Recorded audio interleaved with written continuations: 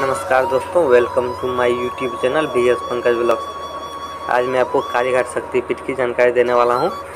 इससे पहले अगर आप अभी तक हमारे चैनल को सब्सक्राइब नहीं किए हैं तो सब्सक्राइब कर बेल आइकन दबा लें, ताकि इस तरह के रोचक वीडियो आप तक पहुँचते रहे। तो चलिए दोस्तों, मैं वीडियो को शुरू करता हूँ।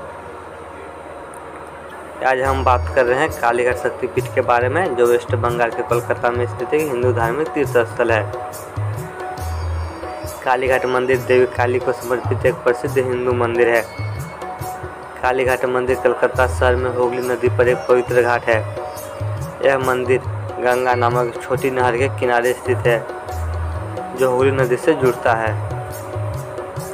कहा जाता है कि कलकत्ता शब्द कालीघाट शब्द से ही लिया गया है। माँ काली का आशीर्वाद लेने के लिए देश भर से लोग यहाँ मंदिर आते हैं।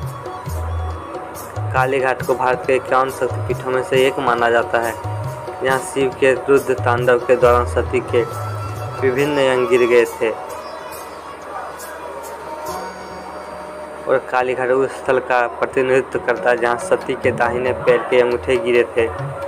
वर्तमान में यह मंदिर उन्नीसवीं शताब्दी का है। हालाँकि इसका पंद्रहवीं और सत्रहवीं शताब्दी के बंगाल के कुछ भक्ति साहित्य में संदर्भ मिलता है। माना जाता है कि कालीघाट मंदिर चंद्रगुप्त द्वितीय के समय से ही अस्तित्व में है। मूल मंदिर एक छोटी झोपड़ी के आकार का ढांचा था, जिसे राजा मानसिंह ने सोलहवीं शताब्दी में बनवाया था।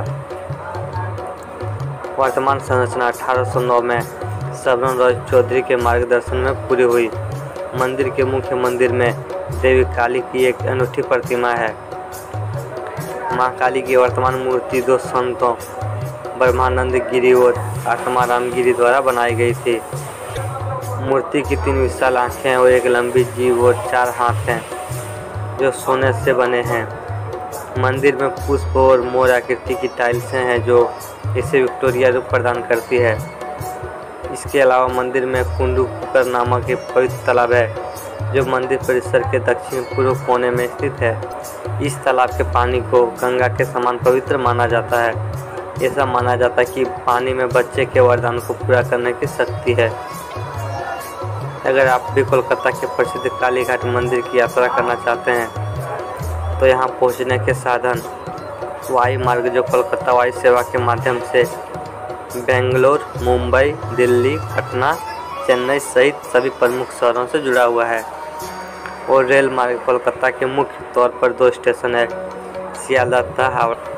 कोलकाता रेल मार्ग के माध्यम से सभी प्रमुख बड़े शहरों से जुड़ा हुआ है और अंतर्राष्ट्रीय सड़क की भी सुविधा है। तो दोस्तों, वीडियो अगर अच्छा लगा तो वीडियो को लाइक, कमेंट और शेयर करें। धन्यवाद।